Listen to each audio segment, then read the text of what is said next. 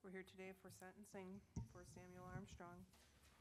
Today I've heard from the state, from the defense, from some of the victims and their representatives. I have reviewed other documents in the court file. Um, They were touched on by Attorney Petit, but there are character references in the court file uh, for Mr. Armstrong as well. Those folks included his mother, some neighbors, prior employers. Before court today, the court had reviewed the criminal complaint, the pre-sentence investigation, character letters, reference letters that were sent in by the victims, the victim impact statements that were filed, uh, the defense's sentencing statements, memorandums, and various other documents that are relevant in this file. Today, I've had the opportunity to review digital images. Court has never seen those before today. So with that being said, there's been a significant amount of input uh, provided to the court in anticipation of the sentencing today, and then also again here this afternoon.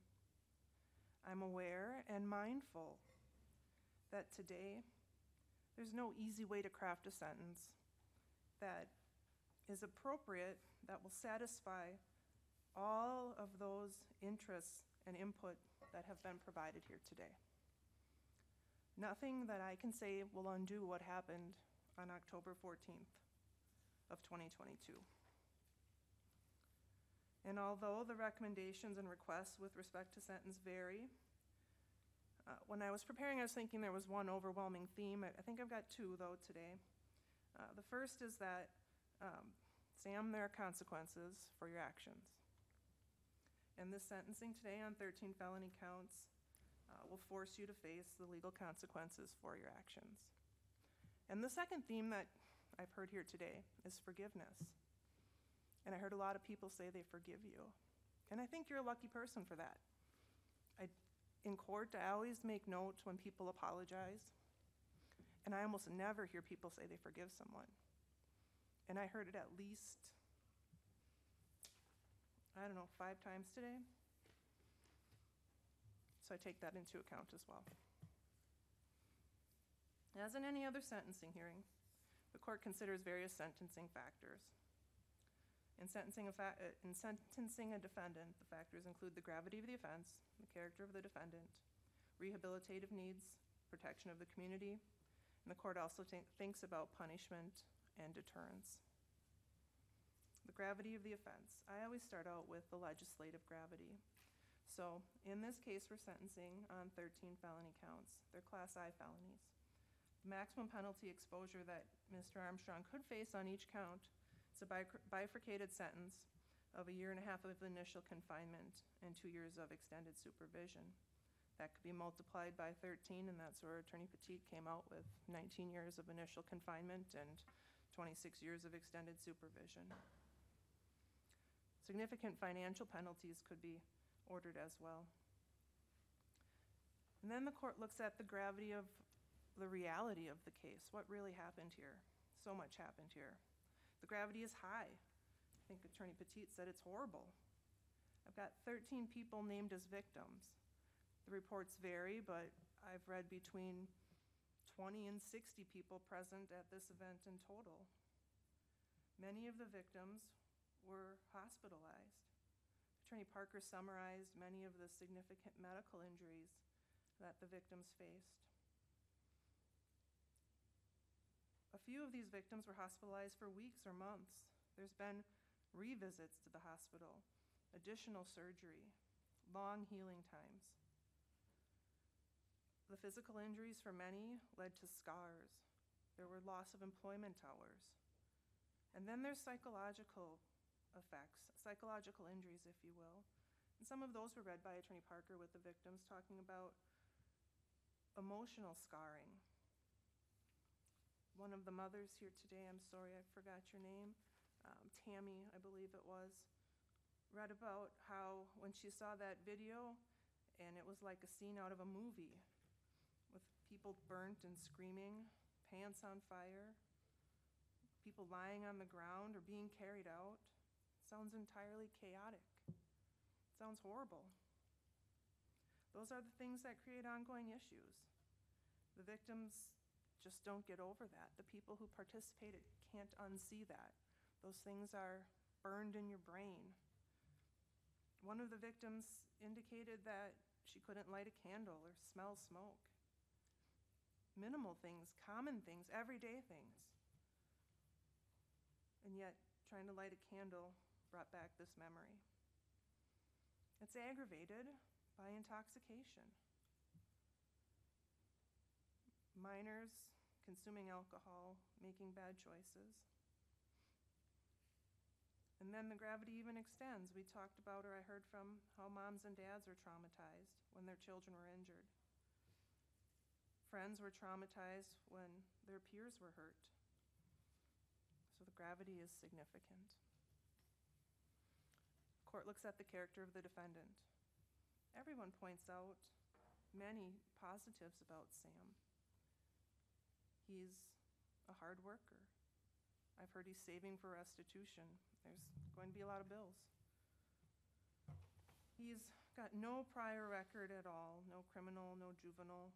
Um, Attorney Petit is correct. The, the PSI writer really was starting to split hairs, going through every detention he ever had in high school for not wearing his mask correctly or throwing ranch at the cafeteria table. It seems they were looking for problems. I, I don't think, I think everyone agrees that he's not really a problem child. He's finished high school early, he plans to graduate with his class. He accepts responsibility. I saw that throughout the PSI.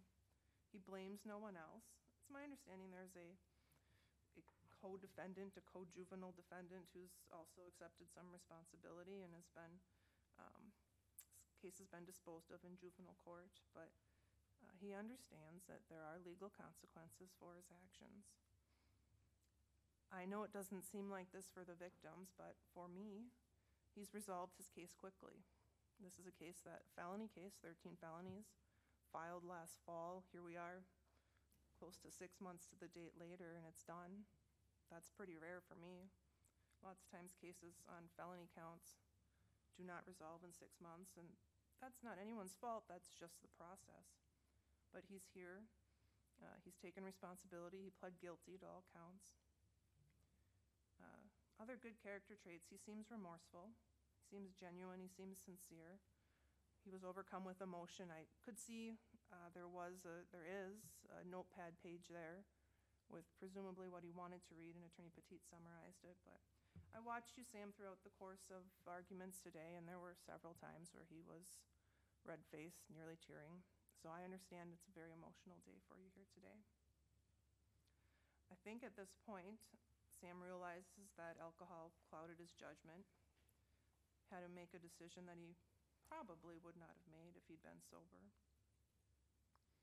I've heard several times that he's remorseful, uh, that he made a statement right away, that he accepted responsibility. And the court also understands that he has not been able to make an apology to the victims while this case pended. And it sounds like he intends to make apologies in the future with permission from the agent. With respect to not as positive character aspects, um, he certainly, in this case, he shows a tendency to act impulsively. Uh, this case is a complete disregard for the rules that society puts on people. Underage drinking, playing with fire, the inability to, when you're intoxicated, think about the probable consequences of your actions. All of that together is a recipe for disaster. That is a character flaw. He wasn't potentially as forthcoming with the PSI writer. That may have been a interview flaw, but nevertheless, he was forthcoming with law enforcement throughout. And he shows that he has a lack of good judgment. It was ultimately his choice, sober or intoxicated, to roll that barrel onto the fire. Flammable barrel full of fuel. Anyone can imagine there's not going to be a good result from that. Court thinks about rehabilitative needs. And there are some. They deal directly with what I was just talking about, impulsivity, the ability, inability to think about the consequences of your actions. And as Attorney Parker points out, there will be close control of his rehabilitative needs while he's on probation. There's a lengthy period recommended, five years. That certainly is a long time. Uh, when you're 18 years old, it's about almost a third of your life. So he's got a long probationary term ahead of him. He'll need to do some counseling if his agent thinks he needs to. He'll have to work on whatever these thinking errors are. Court agrees there very well could be some AODA issues. It's unfortunate that in our society it's just so typical, normal, accepted that high school kids go down lanes and burn fires and drink. And if you're drinking five beers or 10 beers, that's not considered an alcohol problem. At least that's what I was reading in some of these documents.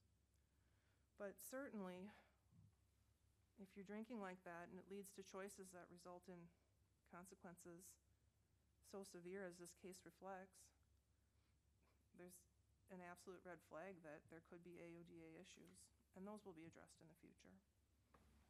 And in general, um, his rehabilitative needs are reflective of the fact that, Sam, it's going to take a lot of years for the community to trust you again. And while you're on probation, hopefully, the community and your friends will be able to trust you again.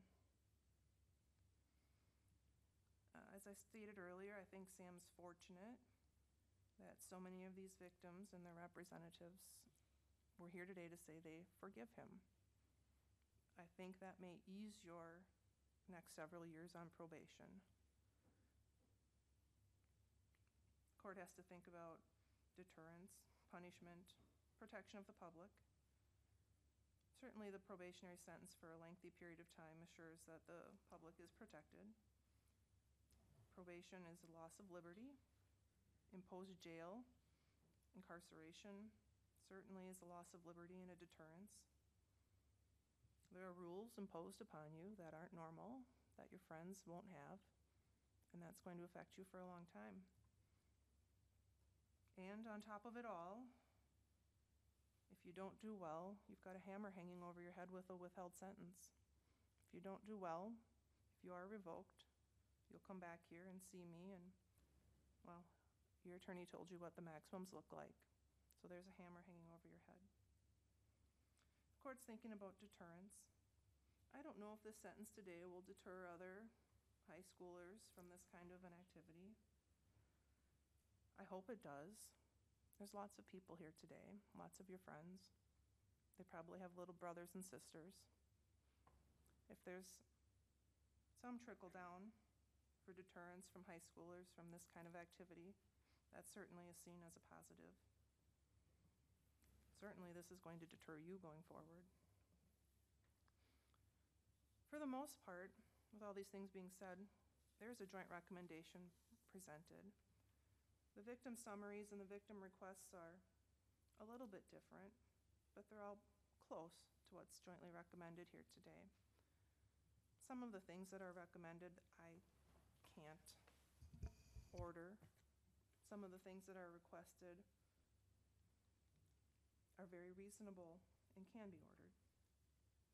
So, for the most part, we have a joint recommendation. The court has no reason to deviate from it. So, for sentencing purposes, the court will follow the joint recommendation as follows. On counts one through thirteen, it's a withheld sentence, placing the defendant on probation for five years. Conditions are as follows, one year of jail, but that would be split up with six months conditional and six months imposed and stayed for the agent's use for rule violations or sanctions. Additional probationary terms include full-time employment or schooling, or if he's not doing any of those things, additional community service. No contact with victims one through thirteen unless approved by the agent, or incidental contact, I suppose, would be appropriate as well. The uh, writing agent requested or suggested apology letters, and I think that's appropriate. I don't know if face-to-face is appropriate. I'll leave that up to the agent. But I certainly think to the extent the victim is willing to receive an apology, it should at least be in the form of a letter, if not personally. AODA assessment and counseling per the agent, absolute sobriety. That's going to run five years, so Sam, uh, I know one of the victims said you shouldn't drink till your twenty-first birthday. Well, it's gonna go longer than that. Quite frankly, I don't think you should ever drink again. I can't control that, but that certainly would be reasonable to expect. Counseling per the agent, uh, hundred dollar fine and costs on each count. I know there's restitution, but again, that goes along with the punishment and deterrent part of the sentence. So the court will go along with that. DNA sample and surcharge on count one only. Attorney Parker, I didn't ask you specifically, but my understanding is that you're asking that restitution be held open for sixty days? We are, that was an agreement, Judge. Uh, There's some things that need to be uh, uh, determined yet. Okay, So that'll be held open. I have a few other conditions that I'm going to add on as well. States asked for two hundred hours of community service during the course of this probation. That's absolutely appropriate. I know that one of the victim representatives had asked for, um, things like, uh, going to a burn camp or volunteering at that, and I think that's a great idea. I see no reason why for forty hours each year, Sam can't spend one week of vacation time volunteering on some of the burn service work that was talked about by Mrs. Van Asten. Obviously, that would have to be arranged by an agent and the court wouldn't have control over it. But two hundred hours over the course of five years at forty hours a week is absolutely appropriate. Where Sam might be spending a week of vacation, otherwise enjoying himself, he's going to be spending it working on burn services to remind him of what these other victims had to go through. No recreational handling of explosives or burning materials or fireworks, that makes sense. Complete all assessments, counseling, treatment per the agent, thinking for a change, moral recognition therapy, and that sort of thing. He's got one day of credit, that'll be added on. He can have a report date up to sixty days out. Um, he can have Huber for any reason that the law would allow. I know some of the victims didn't want that, but if I were to do that, I, I would be treating different, treating Sam different than I treat other defendants. I have very few cases where I don't order Huber, and certainly with the amount of restitution, court fines and costs, it's better for him to be working and saving to pay these back than to not be serving with Huber privileges, so I'll order that as well. But Attorney Petit, had you thought about a report date? Um, no, he was gonna check things as quick as possible with employer, and then the bigger reason, and you didn't touch on it, excuse me, is hopefully to transfer it because he wants to find out where their construction projects are this summer, so he can maximize his work.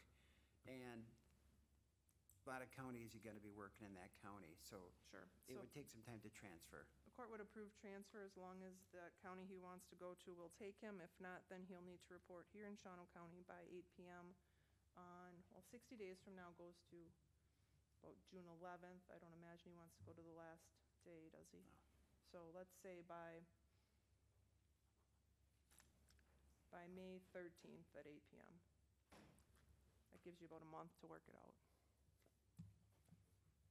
Finally, sir, you do have a right to appeal any sentence that's entered. There's timelines associated with that. Attorney Petit will review that information with you after court. Would the court consider maybe a, a week or two past May thirteenth?